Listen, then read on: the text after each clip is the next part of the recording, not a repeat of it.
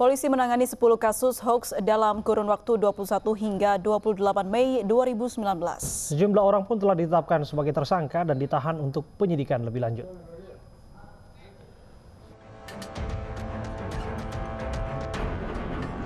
Dalam kurun waktu dari tanggal 21 sampai 28 Mei 2019, Polri telah menangani 10 kasus penyebaran berita bohong atau hoax.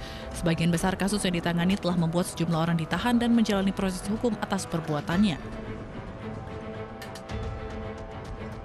Dari, dari tanggal 21 sampai dengan tanggal 28 Mei sudah ada 10 kasus hoax yang saat ini ditangani oleh Direktorat Cyber Barreskrim bersama beberapa Polda. Berikut daftar nama 10 orang yang terjerat kasus penyebaran berita bohong atau hoax. SDA ditangkap pada tanggal 23 Mei berkaitan dengan penyebaran hoax polisi negara asing ikut masuk Indonesia mengamankan demonstrasi 21-22 Mei.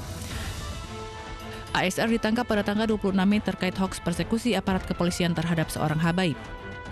MNA ditangkap 28 Mei terkait konten tentang pemilu curang yang bersangkutan juga menyebarkan video persekusi aparat di depan Masjid Tanah Abang.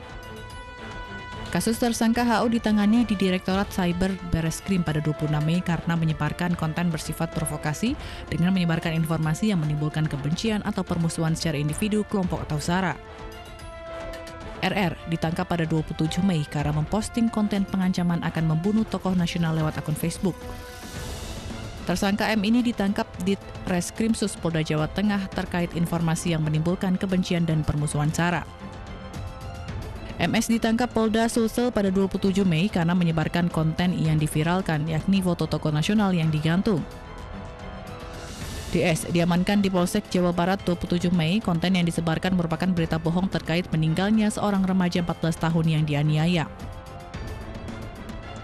Tersangka MA ditangkap di Sorong, Papua pada 27 Mei karena menyebarkan video foto pengancaman terhadap tokoh nasional. Tersangka H diamankan pada 28 Mei oleh tim Dit Cyber Bareskrim karena menyebarkan konten ancaman terhadap tokoh nasional.